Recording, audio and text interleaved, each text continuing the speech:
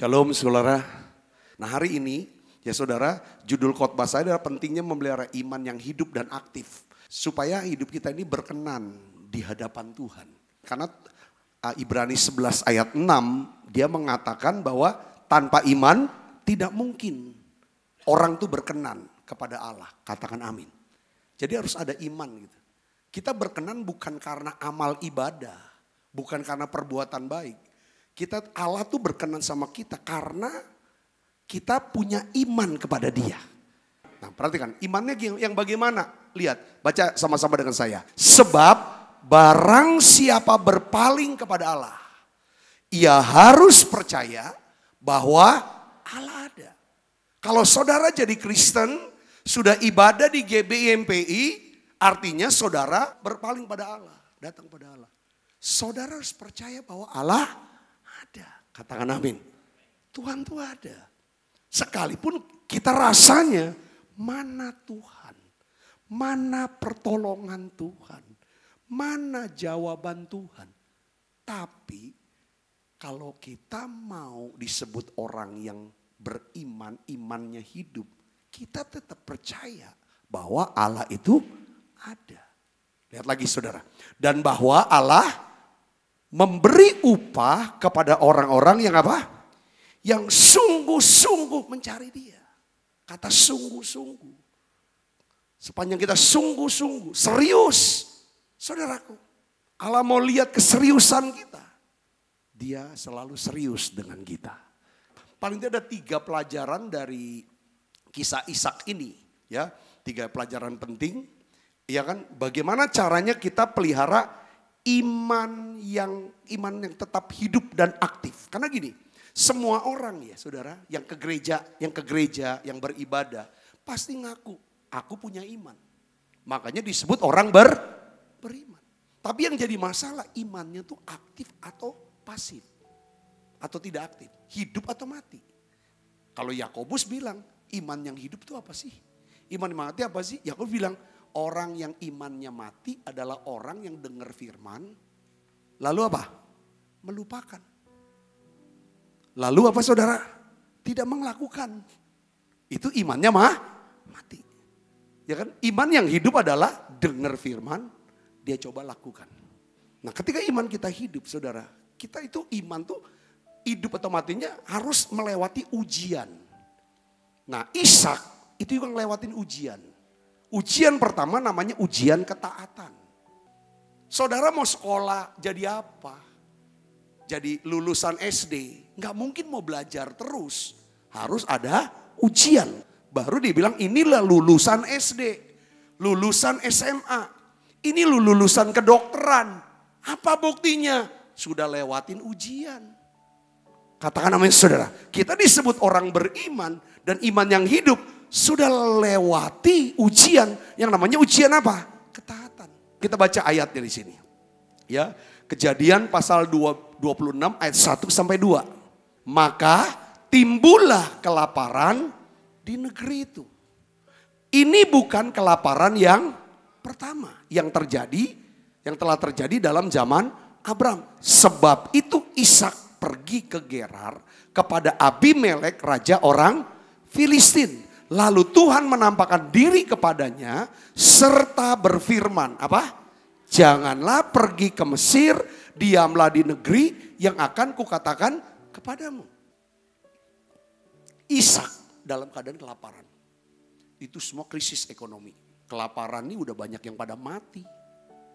Jadi dia tuh ingin dong apa namanya menyelesaikan solusinya apa? Dia mau pergi ke Mesir. Karena dia tahu di Mesir tidak kelaparan. Saudaraku. Nah, lalu Tuhan datangi Ishak. Jangan pergi ke Mesir. Diam di negeri yang akan kukatakan tetap tinggal di tanah perjanjian. Itu perintah Tuhan kepada Ishak. Seringkali kalau kita lagi susah ekonomi, ini ekonomi lah kita bicara. Kita cenderung mau pergi ke Mesir. Tahu Mesir enggak? Dunia. Firaun, dunia, cara dunia, sistem dunia. Tipu sini, tipu sana, bohong sini, bohong situ. Udah pakai ini, pakai ini, teken ini segala macam. Saudaraku, kondisikan supaya dia begini, begini, dan lain sebagainya. Pakaiin power yang gak ini kan. Ini palsuin aja dan lain dan lain seperti itu cara dunia. Di mana kita tahu Mesir di situ penguasanya Firaun. Firaun dikelilingin oleh dukun-dukun sakti. Itu bicara dengan kuasa gelap. Kalau kita sudah pakai cara Mesir, cara dunia, di situ banyak berkecimpung roh-roh jahat. Makanya Abraham waktu dia mengalami kelaparan, dia pergi ke Mesir. Masalah keuangan, masalah ekonominya selesai di Mesir. Makanya jadi kaya. Tetapi saudara lihat karena tidak ada berkat Tuhan di sana, dari Mesir dia dapat harta, tapi juga dia dapat Hagar. Dari Hagar dia dapat siapa? Ismail. Dari Ismail dia dapat apa? Masalah sampai hari ini. Saudara bisa ngerti sini katakan amin. Kalau kita pakai cara pergi ke Mesir, pakai cara Mesir kalau lagi susah. Mungkin masalahnya bisa selesai kalau tidak ada berkat Tuhan. Saudara, akan ada masalah baru yang timbul dan sifatnya permanen itu masalah itu. Saudaraku. Nah, Ketika Tuhan perintah Ishak untuk jangan pergi ke Mesir, tetap tinggal tanah perjanjian. Lihat saudara responnya Ishak. Ayat yang keenam, Ishak apa responnya? Jadi tinggallah Ishak di mana? Di Gerar. Dia tetap tinggal di Gerar. Jadi kunci pertama untuk memelihara iman agar iman kita tetap hidup dan aktif adalah hidup dalam apa saudara? Ketaatan akan perintah firman firman Tuhan. Karena kunci hidup dalam berkat, kita butuh berkat saudaraku. Ya, kunci hidup dalam berkat adalah apa saudara? Setia dan taat sama Tuhan. Ya, kunci untuk bisa setia dan taat adalah apa? Saudara dan saya harus punya api roh kudus.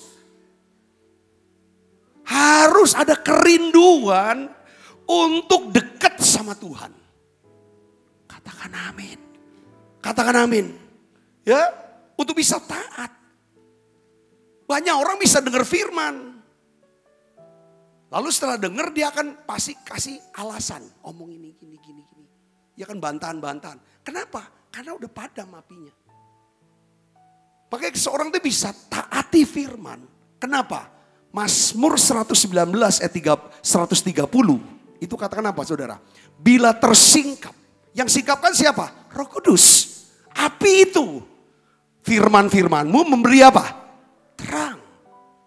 Ya kan? Memberi apa? Pengertian kepada orang-orang bodoh. Saudara perhatikan di sini. Ketika ada api, maka ada terang. Di mana ada terang, di situ ada apa? Pengertian. Di mana ada pengertian, di situ ada apa? Iman yang hidup. Iman yang hidup adalah karena kita ngerti kita ngerti, maka kita mau lakukan. Saudara, ketika ada iman yang hidup, di sana ada perkenan Tuhan, ada kemurahan Tuhan, ada berkat Tuhan. Jadi saya mau kasih contoh. Saudara tuh bisa taat akan perintah Tuhan. Contohnya apa? Hari ini kita bawa persembahan persepuluhan. Ini udah tahunan kita bawa tiap bulannya. Saudara bisa lakukan itu. Kenapa?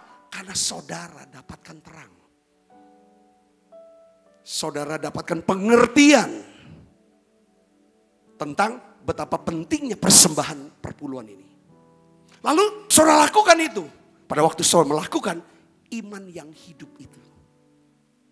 Saudara sedang aktifkan iman saudara. Katakan amin. Dan saudara bisa melihat bagaimana tangan Tuhan bekerja di hidup saudara. Tapi kalau misalnya apinya tidak ada, sudah tidak ada lagi api roh kudus, dengar baik, sudah padam. Ada perintah untuk buat perpuluhan. Saudara pasti ngatain gereja, ngatain hamba Tuhan. Jangan-jangan ngatain Tuhan. Duit mulu. Kita nggak ngasih, kita nggak kita nggak ngasih, nggak pengaruh buat Tuhan. Tapi kalau kita bisa dengarkan dan taati itu, kita dapat berkat dari Tuhan. Kita ini bisa taat terhadap perintah Tuhan untuk mengasihi sesama kita. Untuk bisa mengampuni orang yang bersalah sama kita.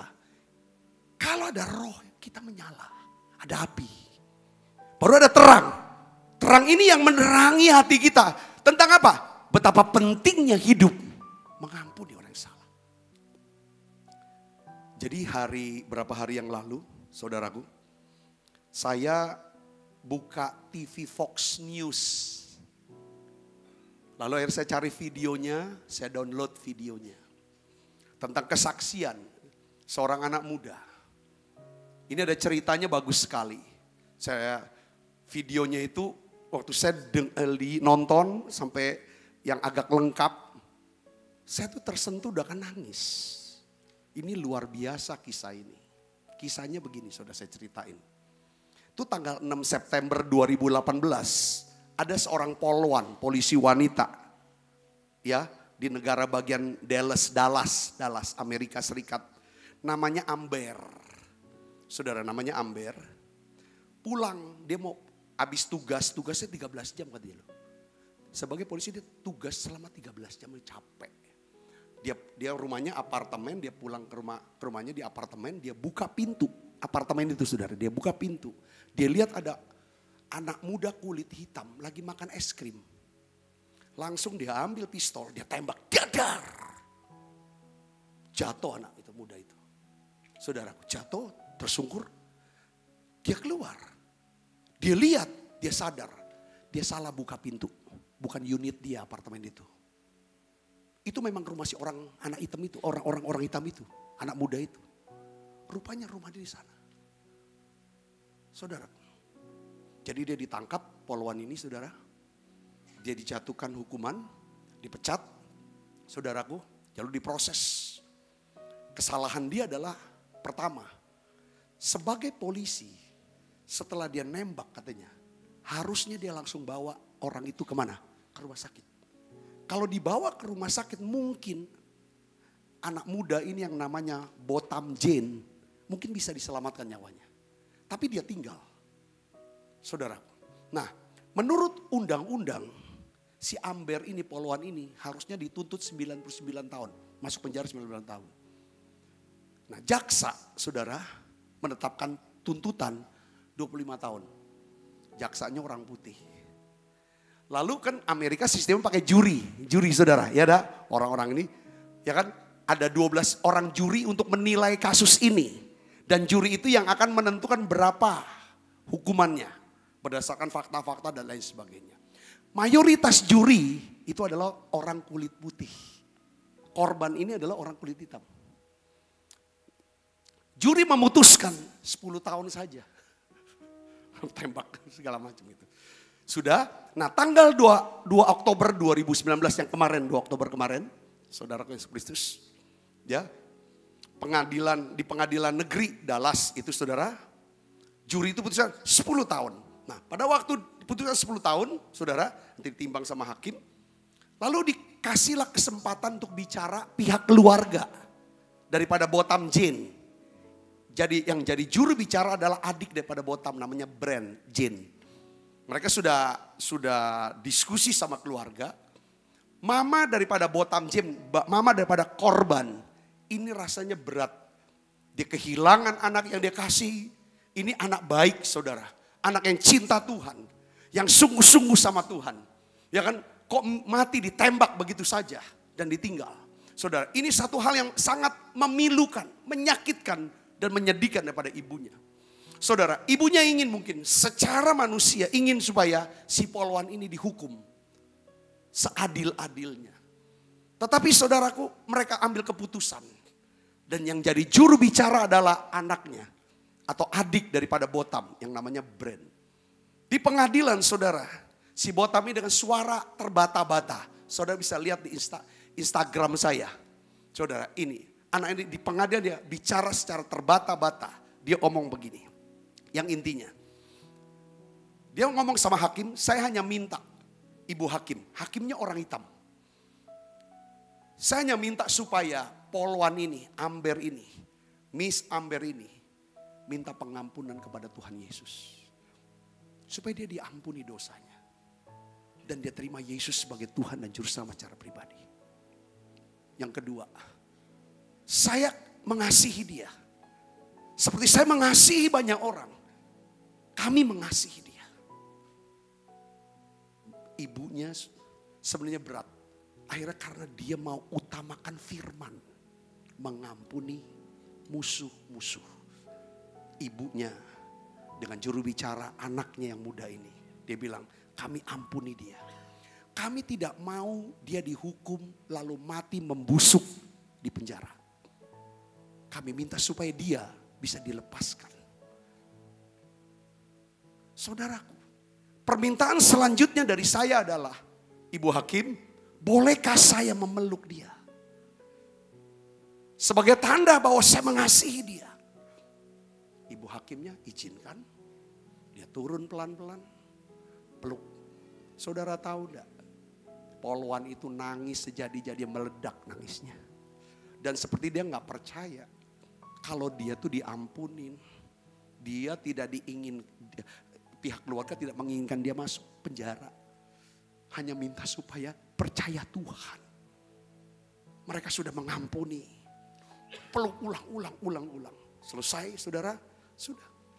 Dan yang luar biasa adalah hakimnya yang orang hitam. Saudaraku, dia turun dari meja hakim tempat duduknya, didatangi poluan itu saudara. Kayaknya diinjili dan terima Yesus, dituntun terima Yesus, lalu dikasih Alkitab. Jaksa, dia kasih kesaksian saudara. Diwawancara kan, dia bilang begini, selama saya bertugas selama 37 tahun sebagai jaksa, saya tidak pernah saksikan peristiwa seperti ini. Orang yang seperti ini, karakter yang seperti inilah yang dibutuhkan Amerika. Supaya Amerika bisa pulih. Amerika bisa sembuh. Karakter ini yang dibutuhkan oleh dunia. Supaya dunia bisa sembuh. Bisa damai. Bagaimana anak muda itu dan keluarganya bisa melakukan pengampunan saya percaya setiap orang Kristen dengar khotbah pengampunan. Itu kayaknya sejak dari bertobat sampai sore ini udah denger itu. Tapi yang jadi masalah adalah apakah masih ada dendam di hati kita. Kalau masih ada dendam di hati kita terhadap seseorang, mintalah roh kudus. Biarlah penuhi saya, bakal berikan saya api pentakosta ketiga. Supaya saya dapat terang betapa besar kasihmu kau sudah mengampuni aku biarlah aku akan mengampuni orang-orang yang bersalah padaku. Ketaatan, ketaatan akan firman. Ini adalah kunci untuk hidup di dalam berkat Tuhan. Amen. Satu hal lagi yang saya mau ngomong soal ketaatan begini. Ketaatan berkaitan erat dengan apa? Rasa hormat. Ketaatan berkaitan erat dengan sikap menghargai Tuhan. Rasa hormat dan tanda adalah tanda atau ciri orang yang memiliki iman yang hidup. Kadang-kadang gini, saya tuh udah taatin loh. Doa iya, ibadah iya, melayani iya, beri ini gini-gini. Tapi kenapa kok Tuhan kok gak tolong saya? Langsung dia mulai nyudutin apa. Saudara saya dapetin taat itu harus diiringi dengan rasa hormat. Saya, saya akan kasih contoh ini saudara, contohnya yang tadi lagi. Saya minta to, saya akan minta tolong, saya akan berikan perintah. Tuhan kan kalau tanda ketaatan, Tuhan kasih perintah ke Ishak, Ishak dengar, Ishak lakukan kan? Dia lakukan bukan cuma sekedar taat, tapi ada disertai dengan rasa hormat sama Tuhan. Jadi gini saudaraku, iman kaitannya dengan ketaatan, ketaatan harus ada rasa hormat. Waktu kita melakukan perintah Tuhan, harus tetap respect sama Tuhan. Harus menghargai Tuhan. Nah contoh gini, saya perintah, kasih perintah ke Pak Wir ya boleh ya. Pak Wir, tolong Pak, saya perintah Pak Wir, saya ini pengen minum air anget. Saya ada gelas anget, air anget tuh situ tuh. Pak Wir tolong ambilin gelas itu Pak. Langsung iya, langsung bergerak ngambil gelas, langsung jalan. Lihat saudara, sambil tersenyum. Terima kasih Pak Wir. Pak Wir, saya perintah dia lakukan dengan senyum, dengan senang hati. Saya senang terima kasih Pak Wir. Jadi nanti kalau ada apa-apa saya akan minta tolong lagi sama dia. Saya perintah lagi. Kalau sering saya perintah Pak Wir, makin lama Pak Wir sama saya makin dekat. Seandainya Pak Wir ada apa-apa, masa saya diam saja? Setiap kali saya minta tolong dia mau kok bantu saya. Nah sekarang balikin, saya balik nih balik. Saya perintah Pak Wir ambilin air. Pak Wir bisa saja ngomong. Hai, nyuruh baik kau ini. Cak wong ndak punya kaki baik. Mbek dewek lah, tapi di dalam hati. Ngerti kan? Gerutuk, gerutuk, gerutuk, gerutuk gitu kan. Ayolah nyuruh baik bisanya. Dilakukan sih. Lalu dengan muka cemberut. Eh, dia taati. Tapi tidak disertai dengan apa? Rasa. Sama pendetanya. Ya udah, lain kali saya nggak akan pernah mau suruh Pak Wir lagi. Saya akan suruh Pak Ali lah yang dekat. Saudara bisa ngerti nggak maksud saya tentang Tuhan ini? Kita sering kali kita ukur ketaatan kita. Tapi hidup kita mengeluh. Marah-marah, kecewa, sungut-sungut. Tentang Tuhan, tentang pendeta, tentang orang Kristen. Tentang apa aja. Tapi ya doa-doa. Melayani-melayani. Ibadah-ibadah. Bawa persembahan berpuluh. Tapi di hati ini. Ini yang bikin Tuhan aku ndak bisa bantu. Ketaatan berkaitan erat dengan rasa hormat. Apa kita masih hormatin Tuhan dengan kata-kata kita? Gitu saudaraku. Kalau kita menghormati Tuhan pasti kita menghormati sesama kita kan betul dah saudara. Kita menghormati firman Tuhan, kita hormati apa yang diperintah firman. Katakan namanya saudara, hormatilah pemerintah, hormatilah tuanmu, majikanmu, tua, orang yang lebih tua dan semuanya. Bahkan saudara, Yesus tuh melihat seseorang punya iman atau tidak, imannya besar atau kecil, ditentukan oleh apa? Rasa hormat dia. Apakah dia punya rasa hormat? Apakah dia menghargai? Contoh, Yesus tidak pernah memuji orang Yahudi yang beribadah loh. Puasa lah, doa lah, kasih perpuluhan segala macam. Hebat nian tuh orang Yahudi. Tidak pernah dia puji orang, ada satupun orang Yahudi yang imannya besar. Tapi dia puji seorang bukan Yahudi. Siapa? Perwira Kapernaum. Itu bukan orang Yahudi. Saudaraku. Dia bilang aku nggak pernah lihat Israel iman sebesar ini.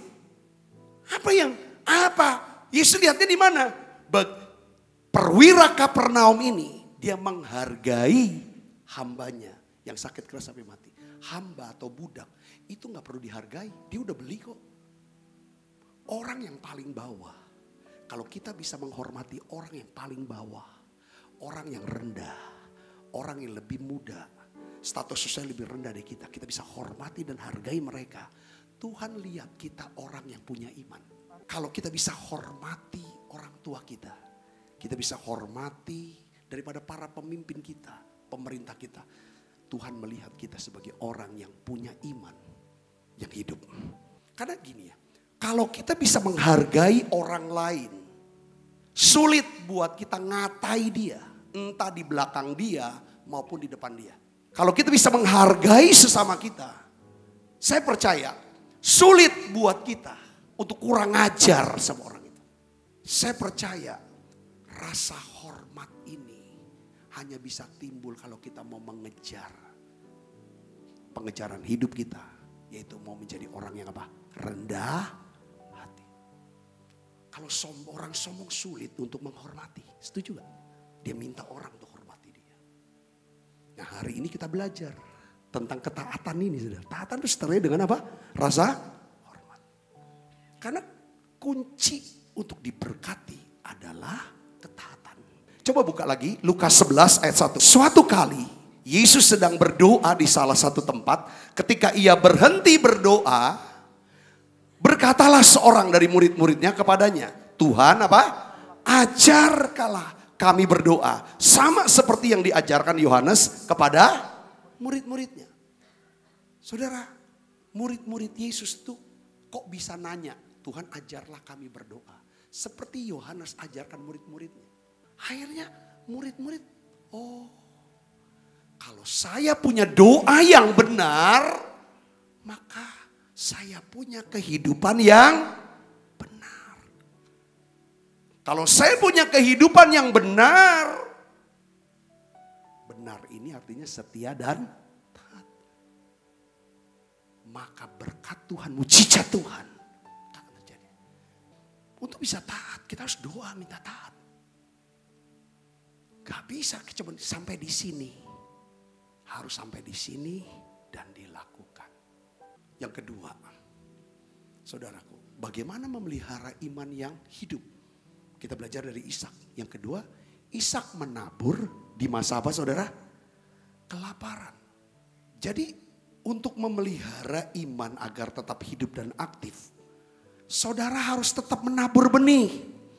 Maksudnya apa? Tetaplah berlaku murah hati sekalipun saudara berada di masa sulit. Kejadian 26 ayat 12 sampai 13. Kita baca sama-sama. Maka menaburlah Ishak di tanah itu dan dalam tahun itu juga apa? Ia mendapat hasil 100 kali lipat sebab apa? Ia diberkati Tuhan dan orang itu menjadi kaya, bahkan kian lama kian kaya sehingga ia menjadi sangat kaya. Bayangin Saudara, Ishak menjadi sangat kaya. Apa yang menyebabkan Ishak menjadi sangat kaya? Karena Ishak diberkati Tuhan. Katakan amin. Ishak diberkati Tuhan karena Ishak mentaati perintah Tuhan. Ishak bisa mentaati perintah Tuhan karena Ishak mendengarkan suara Tuhan. Ishak bisa mendengarkan suara Tuhan karena Ishak dekat dengan siapa? Tuhan. Ishak bisa dekat sama Tuhan karena Ishak pelihara api Roh Kudus untuk nyala-nyala. Kata kuncinya, kalau api ini nggak nyala, saudaraku, berkat Tuhan tidak turun. Di mana kalau ada berkat Tuhan, apa pun yang saudara kerjakan Tuhan buat, kata kuncinya berkati. Di berkat itu bukan kaya, salah satu ber, unsur berkat kan ada empat, masih ingat gak? Berkat apa saudara pertama? Rohani. Keselamatan jiwa hidup yang kekal. Bisa hidupnya tenang, penuh sukacita, ya punya pengharapan. Itu kan berkat rohani. Pengharapan segala macam itu kan rohani. Yang kedua berkat apa? Jasmani. Sehat kuat itu berkat. Yang ketiga apa? Berkat apa? Sosial. Di mana kita butuh apa? Tuhan kirim orang ini. Butuh apa? Tuhan kirim orang. Orang-orang yang membangun akan dikirim Tuhan atas kamu. Itu namanya berkat. Katakan amin. Seperti ada jalan-jalan yang Tuhan buka lewat orang-orang ketemu ini ketemu ini itu berkat yang keempat baru berkat ke oh, keuangan. Perhatikan, orang kaya belum tentu dia diberkatin Tuhan loh. Setuju gak? Lah kalau dia belum bertobat, belum terima Yesus, dia tidak ibadah kepada Tuhan, tidak menyembah Yesus, dia kaya ya kaya karena dia kerja. Karena dia rajin, karena dia pinter. Tapi itu belum tentu diberkati Tuhan. Yang ngerti katakan amin saudaraku. Orang diberkati Tuhan karena dia taati perintah Tuhan. Dia taati perintah Tuhan karena dia mendapatkan suara Tuhan, firman Tuhan. Dia bisa dapat firman Tuhan karena dia dekat sama Tuhan. Dia bisa dekat sama Tuhan karena rohnya menyala-nyala. Jadi Ishak, saudara, dia berhasil. Di masa orang sulit, dia diberkati Tuhan. Dia berhasil. Di masa orang sulit, di bulan ini. Saudara, saya percaya saudara diberkati Tuhan diberkati Tuhan. Coba beri tepuk tangan yang Yesus. Tuhan buat saudara kaya dalam nama Yesus. Sehat dalam nama Yesus. Orang saudara butuh orang-orang. Tuhan akan kirim orang-orang itu. Ya kan? Termasuk kadang-kadang pembantu itu penting. Susah loh dapat pembantu. Dapat sopir, dapat orang yang bisa dipercaya. Itu susah. Itu berkat. Tuhan akan berikan. Karena saudara diberkati Tuhan. Kata kuncinya adalah apa? Dekat sama Tuhan itu bisa dekat desa hadapi. Oke? Amin. Nabur tentang nabur, saudara.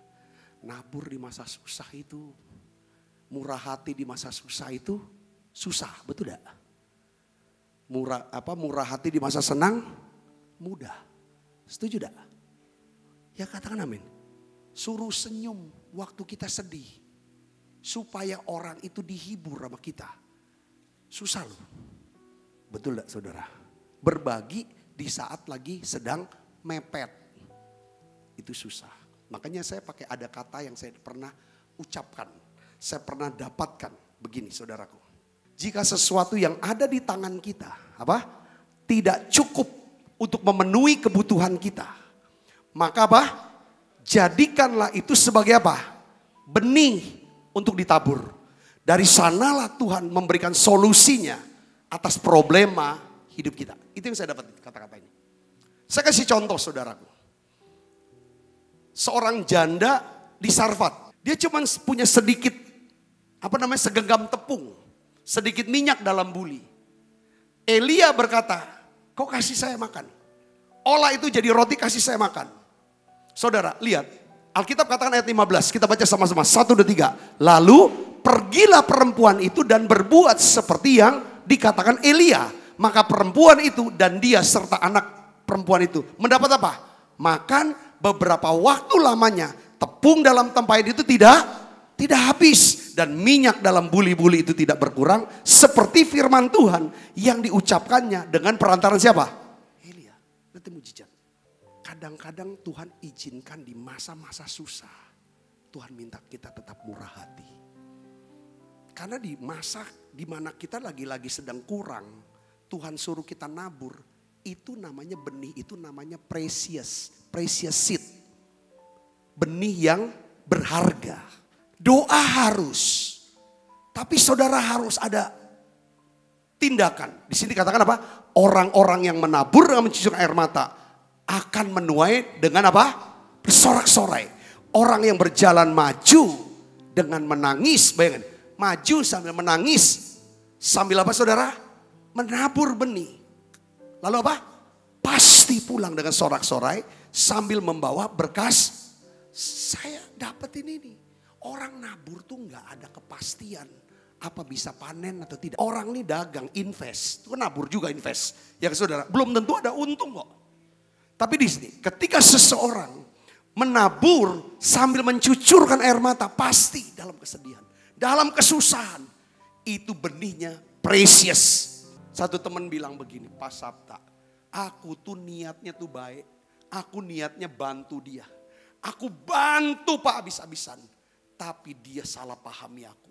Dia balikan sampai aku tuh sedih, aku nangis waktu dengar khotbah Bapak tadi pagi. Aku rasakan ini benar, itu namanya precious seed buat saya. Saya mulai ada penghiburan buat saya. Jadi setiap kebaikan yang saudara tabur ke orang lain, itu namanya benih. Kalau dibalas dengan kejahatan, benih itu jadi precious, jadi berharga. Ya kan precious seed selalu menghasilkan precious blessing, precious miracle. Yang ngerti katakan amin. Coba beri kemuliaan buat Yesus. Precious blessing itu artinya berkat-berkat yang tidak tergurga, yang sangat berharga, yang dicurahkan Tuhan buat saudara. Katakan amin. Jangan menyesal, jangan mundur. Aku nggak mau lagi tolong-tolong orang. Kalau akhir jadi beginiin, jangan. Terus maju, maju terus, terus murah hati. Saya dorong saudara terus melayani, terus murah hati. Jangan mundur, terus maju. Pasti pulang dengan sorak-sorai sambil membawa berkas-berkasnya. Beri kemuliaan buat Yesus. Saudara sudah melayani dengan tulus, mendoakan dengan tulus, tapi saudara malah difitnah. Itu saudara menabur benih yang apa? Precious. Jangan pernah nyesel pernah berbuat baik. Tapi menyesallah pernah berbuat jahat. Katakan amin. Jangan pernah nyesal pernah berbuat Tapi menyesalah kalau kita pernah berkata jahat. Berpikir jahat. Nyesel itu harus. Yang ketiga. Ishak berusaha apa? Hidup damai dengan semua orang. Dan menghindari iman kita akan mati. Roh api Tuhan itu akan padam. Kalau gawean kita tiap harilah bertengkar Bekelai, bebala, terus tiap orang dikomentarin yang negatif. Tiap orang kena marah sama gitu. Tapi kalau saudara mau punya iman yang hidup. saudara, kita belajar seperti Ishak. Hindari apa? Berusaha untuk hidup Hindari apa? Peteng. Coba lihat di sini. Ayatnya. Coba lihat kejadian 22 ayat 26 ayat 22. Kita baca sama-sama yuk. 1, 2, 3. Ia pindah dari situ menggali sumur yang lain. Kenapa saudara? Pindah gali sumur yang lain. Dia pernah gali sumur milik dia. Miliknya Ishak yang diberikan oleh bapaknya Abraham. Namanya sumur Abraham kan punya dia, betul gak? Dia pewaris. Dia gali keluar air. Berbual-bual airnya. Zaman Ishak, sumur yang ada airnya. Wah itu, yang itu namanya apa saudara? Itu namanya itu berkat. Itu tuh kekayaan karena untuk dia minum, untuk juga ternak-ternaknya minum. Betul gak saudaraku? Kalau tidak ada air ini. Tapi rupanya waktu dia gali, airnya keluar, orang Filistin ambil. Kehilanganlah satu sumur itu. Dia gali lagi sumur ayahnya. Yang kedua, keluar airnya lagi. Diambil lagi oleh orang Filistin. Kehilanganlah sumur yang ketiga. Terus, terus dia gali, dia ambil, gali, dia ambil. Lalu ada sumur lain lagi. Dia gali, tetapi tentang sumur itu mereka tidak bertengkar. Ada waktunya. Apa yang yang Tuhan beri kepada kita. Saudara, itu ada waktunya. Kalau Tuhan sudah beri, tidak ada lagi orang yang bisa ambil. Kalau Tuhan tidak pernah beri, tapi kita coba ambil, itu pasti punya sayap. Dia pacak terbang tinggalan kita. Tidak usah berkelahi. Masalah sumur, Sumur bicara tentang bisnis, kekayaan, pekerjaan, lokak. Saudaraku, kita nih tanya, sumur itu dinamai apa? Reho, Rehobot. Sumur itu. Jadi berkat itu harus berikan apa? Rehobot. Dan ia berkata sekarang Tuhan telah memberikan kelonggaran kepada kita sehingga kita dapat beranak cucu di negeri ini. Ya sudah ada damai. Dia mau yang damai. Hilang sumur tidak apa-apa, hilang sumur. Yang penting aku ini ada damai. Pertanyaannya begini saudara. Kenapa kok Ishak rela melepaskan sumur-sumur miliknya yang mengeluarkan air yang berbual-bual? Kenapa Ishak tidak mempertahankan haknya? Ishak kan kaya. Kalau orang kaya kan punya power dong. Betul saudara? Dia kan sangat kaya. Dia punya power loh. Dia pasti punya pasukan dan lain sebagainya. Kenapa dia ada lawan? Ini ujian. Waktu susah kita diinjak-injak. Kita bisa sabar, betul tidak? Paling ngomong, mentang-mentang aku cak ini, kau berani injak-injak aku. Tapi kalau kita sudah besar, sudah kuat, sudah kaya, sudah hebat. Di begini ini, bisa nggak kita nggak pakai power kita untuk hajar orang itu? Itu paling penting dalam hidup. Ujian paling berat. Nah Ishak, kalau kita mau iman kita hidup, saudaraku, kita tidak gunakan power kita kekuatan kita. Ya kan? Yang di luar daripada perintah Tuhan. Karena Ishak tuh berpikir begini. Sumber penghidupan dia. Itu bukan sumur. Tapi siapa? Tuhan. Dia ngerti segala sesuatu itu harus berasal dari. Kalau Tuhan belum beri. Ya orang ambil. Ya sudah. Bukan berarti kok nggak ada perlawanan. Enggak. Di ini bergantung. Saya mau ngomong begini saudara. Satu hal. Saya mau saksi tentang kehilangan. Isa kehilangan sumur banyak. Sampai akhirnya dia cuma punya satu itulah. Itulah jatah dia. Jadi saudaraku yang Kristus. Ini ayat. Tiap kita mungkin di antara saudara juga mengalami kehilangan. Kehilangan seseorang sedih. Kehilangan sesuatu sedih. Mungkin pekerjaan, mau pensiun, kehilangan rezeki, kehilangan langganan, Kehilangan-kehilangan. Pasti sedih, betul gak saudara? Sedih. Ya kan? Tapi hari ini jangan simpan kesedihan. Kita bisa kehilangan seseorang. Ya kan? Yang kita kasihi. Kita bisa kehilangan sesuatu yang berharga buat kita. Tapi jangan sampai kita kehilangan Tuhan.